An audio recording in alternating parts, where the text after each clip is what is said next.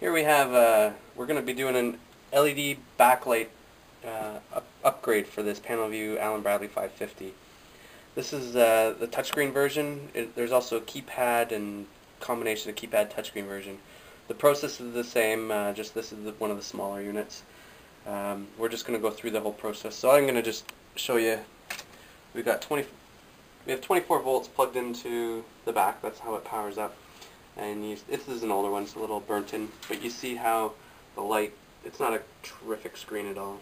There's a little bit of reflection in there, but uh, you'll see the image on the screen, the, basically the brightness of it isn't terrific. And what happens, I'm going to just flip this sideways, is you see a, a lot of the light is being shone all over the place and you're losing, all the light isn't being put through the fiber optic and that's in a sense losing a lot of the light. And you'll see even on the back of the wall here, there, it's, it's shining backwards. You're losing light. You want all that light to go into the fiber optic and into the front.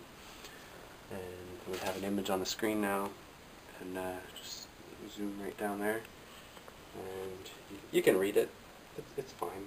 Um, the other thing that happens is because this produces so much heat over time, there's a little lens in here, gets the plastic gets brittle, and when the lens falls off, uh, all the heat from the light goes into the fiber optic, and the fiber optic melts, and then then you're in more trouble than than you were before. So this process right here is going to remove a lot of the failures with just by removing the the the light for the 550. So we're going to take this off. This is your fiber optic bundle. And take a screwdriver and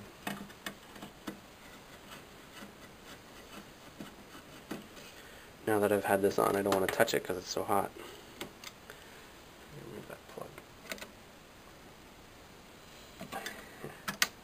very, very hot. Stick that over there. And we have one more screw holding it on. This is the LED light from Monitech. Very simple design. While I put this on, uh, actually have one with the tie straps already on. Now, I've talked to some customers who have thousands of these in their facility, and it's almost like a full-time job to go around and changing these bulbs.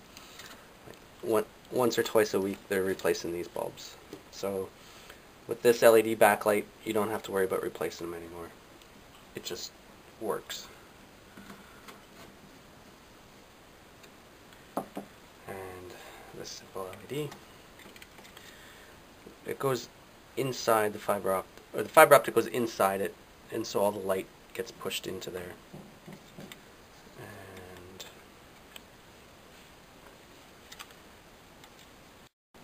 This cable can be plugged in either way. If it's plugged in the wrong way, it just won't work. No big deal. Uh, so give an example. So I plug it in this way, turn the power on, and as you see the light turns on here, but the LED doesn't turn on. So it's turned on back. It's Allen Bradley sometimes put their, puts their connector in backwards, so we can't. The only way we can do it is to do it this way. So it doesn't work the first time, just flip your cable around, plug it in the other way. And it has a diode in there to protect it so no, nothing bad will happen to it.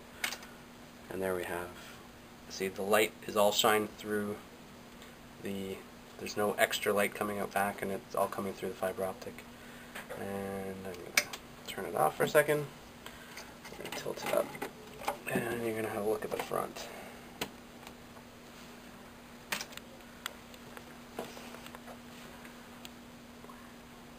a lot brighter than the first than the original bulb because all the light is focused into the fiber optic.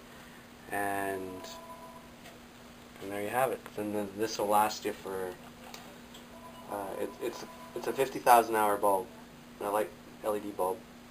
So years and years and years of running this all the time again in the 24 hours a day 7 days a week. Uh, no heat is produced. You can keep your finger on it. Uh, it, it runs around, in really hot environments, it might go up to 35 degrees C, which uh, still, you still cool to the touch, just a little bit warm. Uh, right now I don't feel any heat whatsoever. And that's something that Monitech Industrial Display supplies. It comes in a little bag with all the instructions on how to install it. And you can visit the website www.monitech.com.